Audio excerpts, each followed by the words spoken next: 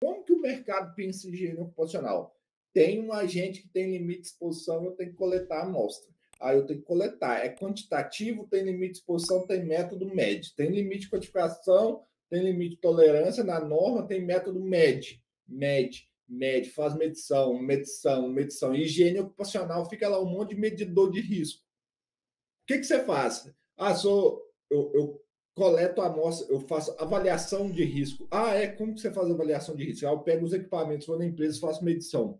Isso não é higiene ocupacional.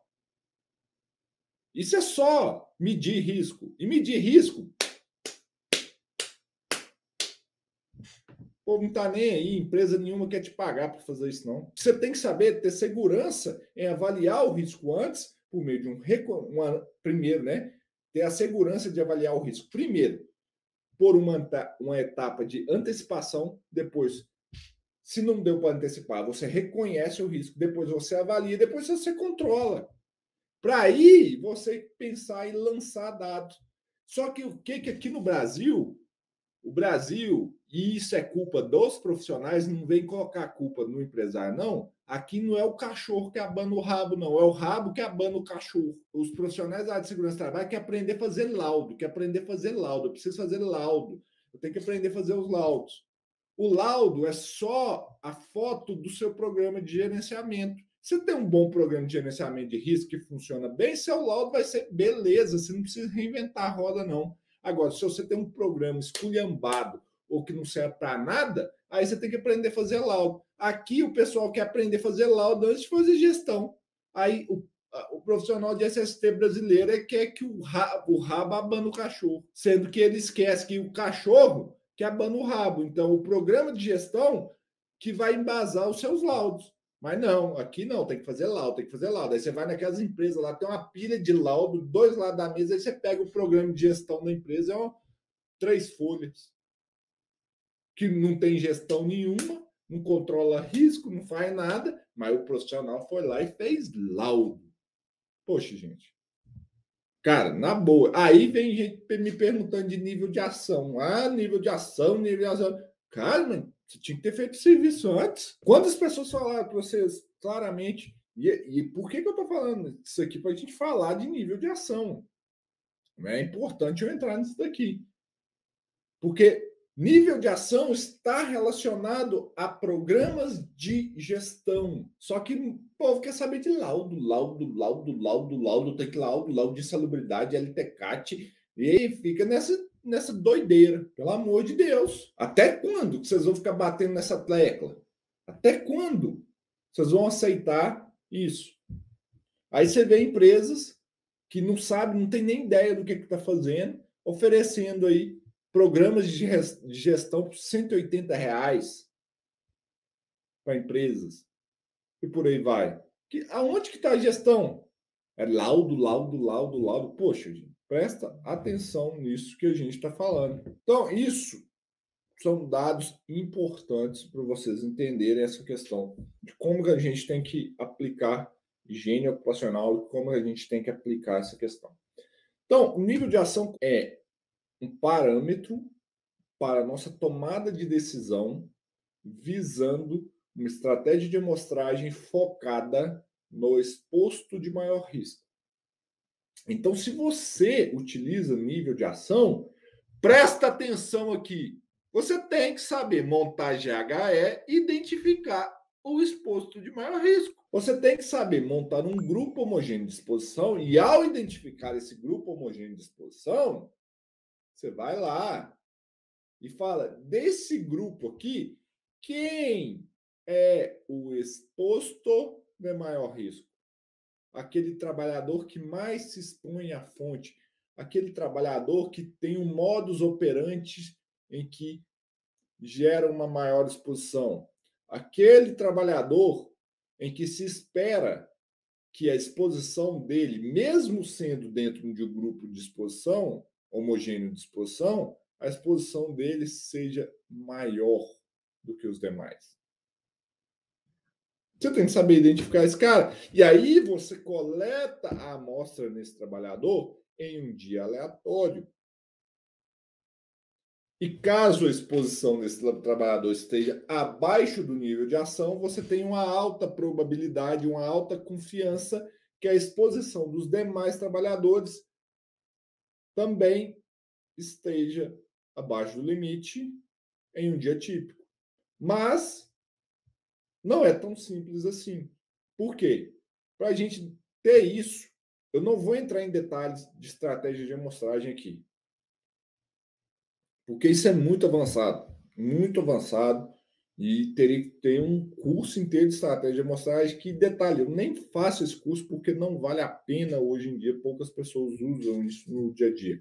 Mas só para vocês terem noção, alguns parâmetros que você deveria saber para trabalhar com higiene ocupacional. Para você utilizar nível de ação, você tem que estar, tá, você tem que ter um grupo homogêneo de exposição. Esse grupo homogêneo de exposição, ou seja, a distribuição de probabilidades das exposições. Ou seja, se você tiver uma curva de distribuição de probabilidade, qual é a probabilidade de ter uma exposição XYZ dentro desse grupo? Ela tem que seguir uma distribuição do tipo log normal, tá? Só para você entender isso. O desvio padrão geométrico dos dados desse grupo tem que ser 1,22. Não vou entrar em especificidade disso, mas com uma amostra não é possível determinar isso. E o coeficiente de variação, a variabilidade dos, dos dados de coleta e de análise tem que ser no máximo 10%. Isso é pré-requisito. Se o nível de ação for excedido em um dia típico, existe uma probabilidade maior do que 5% do limite de exposição será excedido em um outro dia de trabalho. Sim, sim e não, tá, José Hamilton? Vai depender aí desse, da, do nível de confiança que você quiser determinar o nível de ação, ok? Pode ser 10% ou 5%, vai depender do parâmetro que é determinado na curva de distribuição de probabilidade, ok? Então, o que, que eu estou falando para você aqui? Para você prestar atenção. Ao coletar uma amostra, ao executar as suas amostragens, um fator importante que você tem que ter, porque para você não errar, você, sabe, na hora que você ficar inseguro, fazer avaliação, que você tem que pensar é como que você vai identificar determinadas características do ambiente de trabalho para saber se esse nível de ação pode ser aplicado dessa forma. Vou te dar um exemplo simples. Se você trabalha com trabalhadores da área de manutenção, trabalhadores da área de manutenção, trabalhadores da área de manutenção, você espera um desvio padrão muito grande em um grupo homogêneo de exposição, porque as tarefas não são tão parametrizadas, processuais, variam muito. Então, o que, que acontece? Não dá para aplicar nível de ação de 50% nesse caso. Se você chega numa empresa e vê nessa empresa um processo totalmente desorganizado, que não tem padronização, que não tem é, um fluxo de trabalho claro e específico, não dá para aplicar nível de ação de 50%.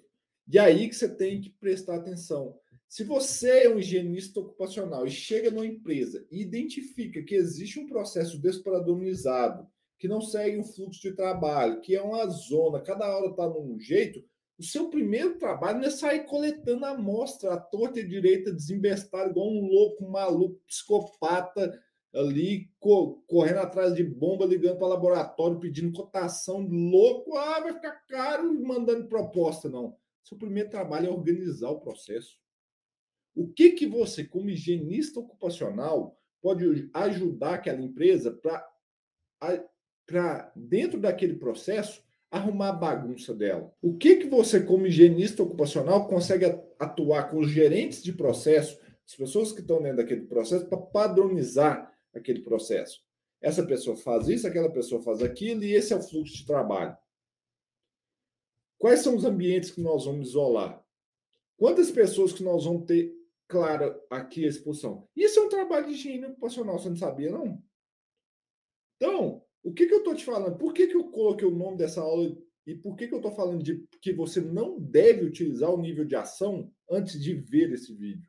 Porque em muitas situações, você, como higienista ocupacional, tem que trabalhar na padronização do processo e ajudar a empresa a organizar, estruturar os processos dela, como higienista ocupacional, ao invés de sair coletando amostra que não vai servir para nada. Que vai ser só um gasto para aquela empresa e a empresa vai virar para você assim: poxa vida, lá vem esse cara aí gastando trazer um tanto de dinheiro aí, uma proposta para eu gastar um tanto de dinheiro, no final das contas não vai servir para nada. E não vai! A empresa está toda bagunçada. O que, que dá para você fazer, por exemplo, de layout dessa empresa? Quais trabalhadores precisam estar expostos a determinados agentes químicos? Não dá para isolar os processos? Ó, esse trabalhador vai ficar exposto só a esses, esses, esses, esses agentes agressores nós vamos isolar esse processo. Esse daqui, para eles, não é todo mundo fazendo tudo. Por quê? Quanta empresa mal organizada e processo bagunçado, não tem higiene ocupacional que salve.